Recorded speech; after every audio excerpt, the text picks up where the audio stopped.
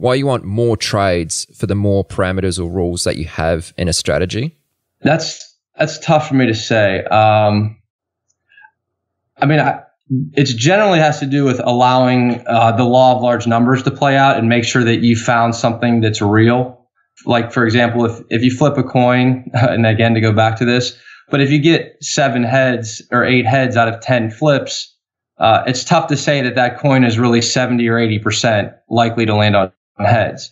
But if you were to flip the coin a thousand times and it came up, you know, seven or 800 heads, then it's much easier to conclude that that's, you know, not a fair coin.